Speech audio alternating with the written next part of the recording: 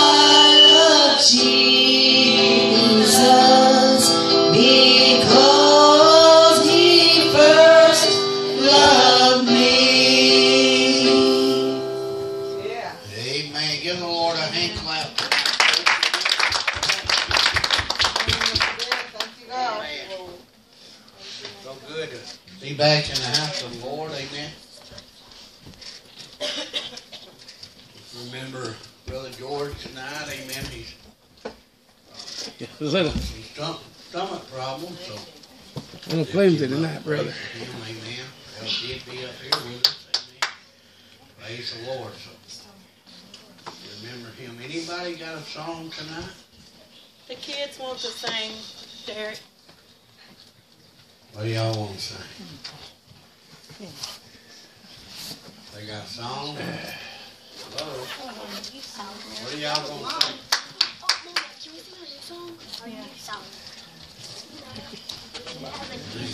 Amen. Let's give these kids a hand clap. I need a minute. I need a minute. I need a minute. I love that song. So you said I need a minute. Where about y'all? Um, Just sing along. Four and one. Do, do that one first. She has the word painted.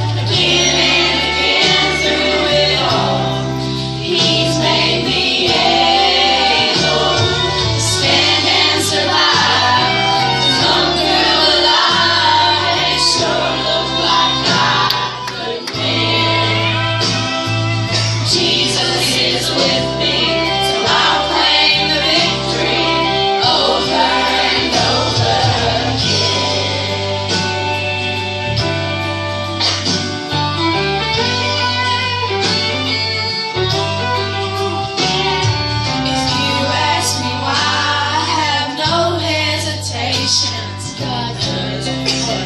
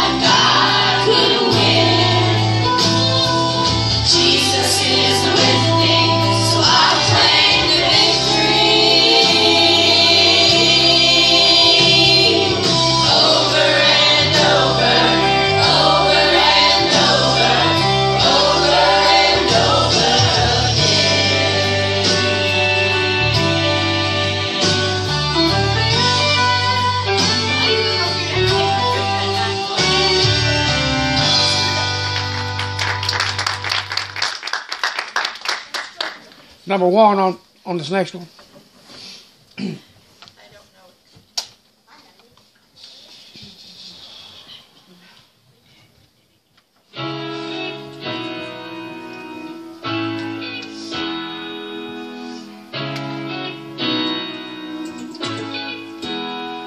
Well, late one night she saw to cry and thought he ain't coming home.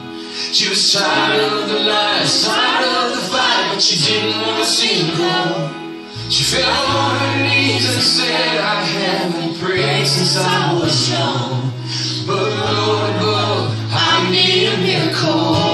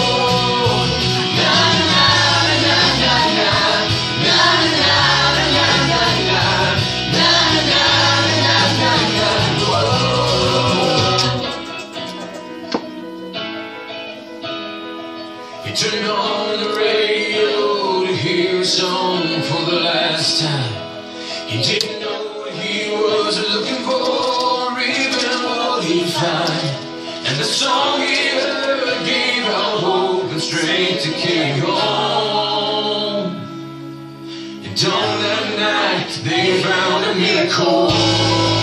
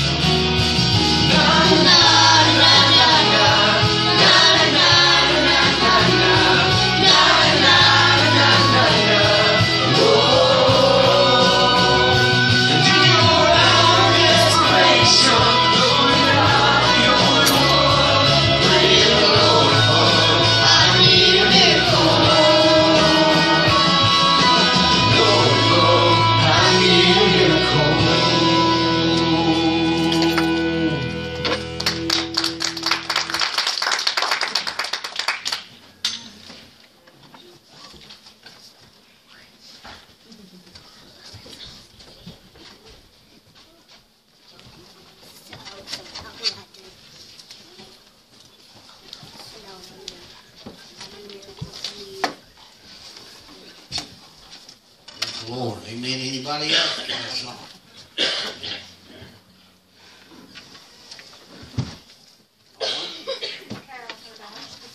I got a song, Carol.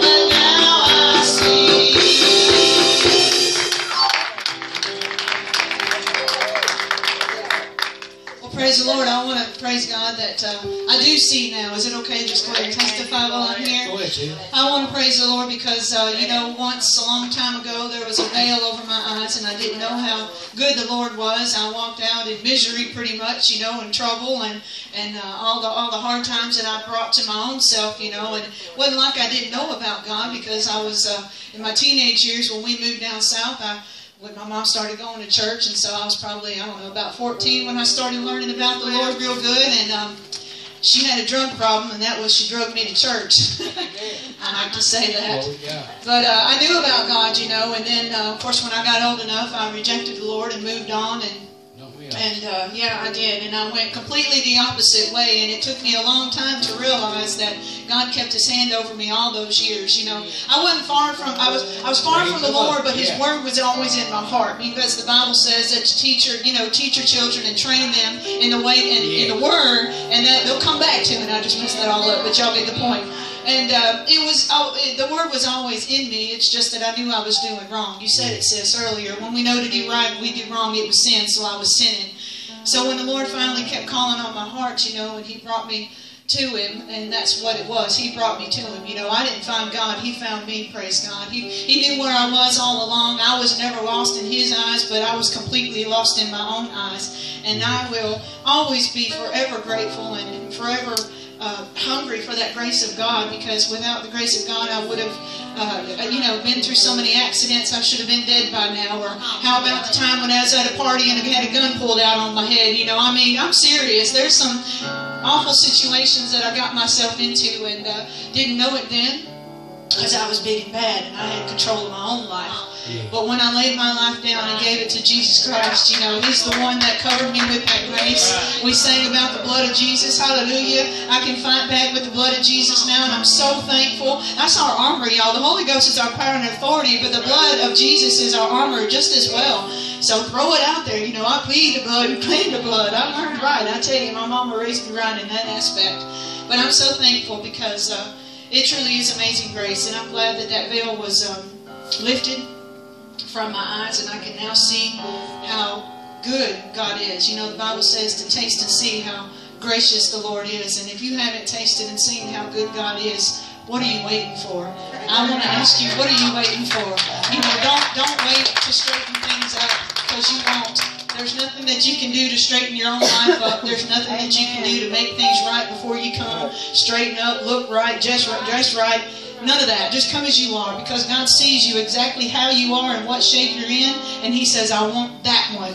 And everybody else is like, which one? That messed up one? That dirty one? That one that don't look right? The one that don't have money to buy new clothes? Awful shoes? This and that and the other? Yeah, I want that one. Praise God. You know, God says in His Word that He cho- chooses the foolish things to confound the wise. How many are foolish in the house of God tonight? I'm foolish. That's all right. I'm proud of it. I'm the base things of the world, the scripture says. I'm base. I'm as low as they get. But see, God sees me and He picks me up. And in His eyes, the Bible says, and I'm the apple of His eye. Amen. So I wake up with that thought every day, and I try to go to bed with it every night that God sees me special. As messed up as I was, He cleaned me up and He got me right, and I'm doing the best I can. Sis had it right. I'm striving. That's all. You know, you might see me all prettied up, looking good in this little outfit I got on, but inside, you know, there's still stuff. There's still baggage, but I know where to bring it to now. And I don't have to carry it anymore. So let's praise God for His amazing grace.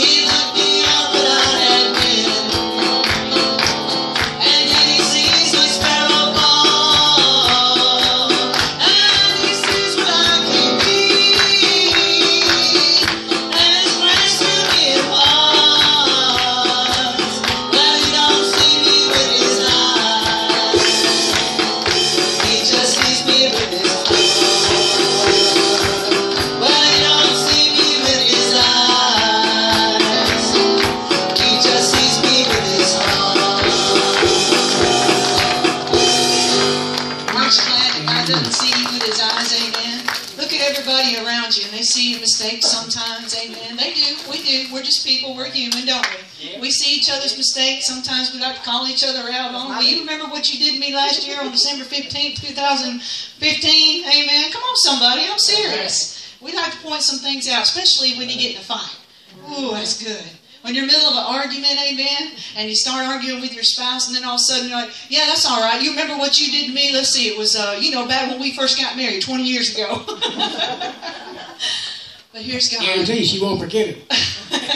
Here's God God. doesn't do that. He Praise looks at you with his heart. Amen. He sees what you can be made of. He sees he sees you whole and complete. That's what I said this morning. Think about that a second. Oh my gosh. God looks down from heaven and sees us whole and Amen. complete. Praise God. He knows you're broken. He knows you have issues. He knows you got junk in the trunk. But praise God, He's ready to fix you and heal you and pick you up. Amen. That's the kind of God we serve right there. So He sees you with His heart, not His eyes. He's not trying to condemn you and push you back. He don't want you to go to hell. He wants you to come to Him. He's standing open armed. Amen. Man, man.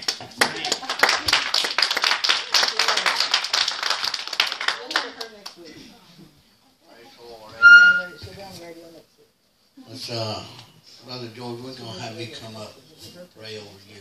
Amen. Brother George don't feel too well. You believe in God's healing power, you come up and lay hands on him. Pray with us, amen, over him. Amen.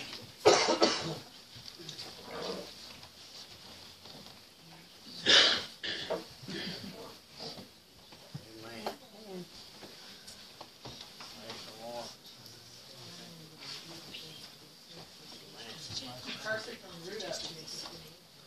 Glory to God. God, we thank you right now. God, we speak healing over Brother George. God, we thank you. That his body right now, right there, God, in the Bible, God, Lord, we thank you. God, we ask you to manifest your healing right now. God, we thank you, Lord God, in the name of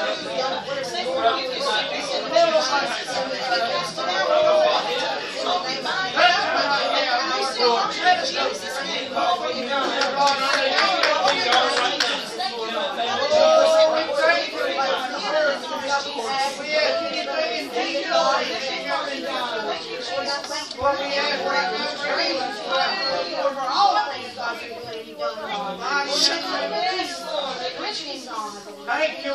Thank you. Glory to God.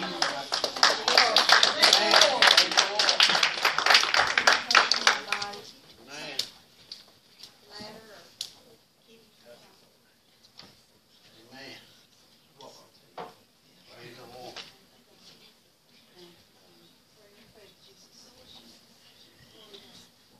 Praise the Lord. Amen. Glory to God. God, you touched it. Lord, we ask you right now, in the name of Kidneys are becoming right now. God, I ask you right now, Whatever God, that's all that how they promise God, we ask God to manifest in the name of Jesus. Lord, we thank you, touch God.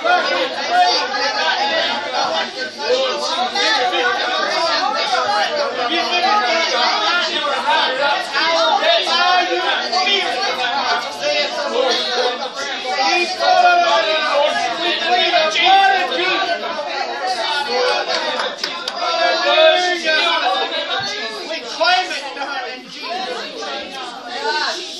Thank you, Lord. Thank you. Hallelujah. Amen. We're all up here, amen. Let's pray for Brother Billy. Thank you. Yes, once again. Amen. Well, praise the Lord, good. If anybody needs prayer for Brother Billy, come. Next Sunday. Amen. Praise the Lord. Amen.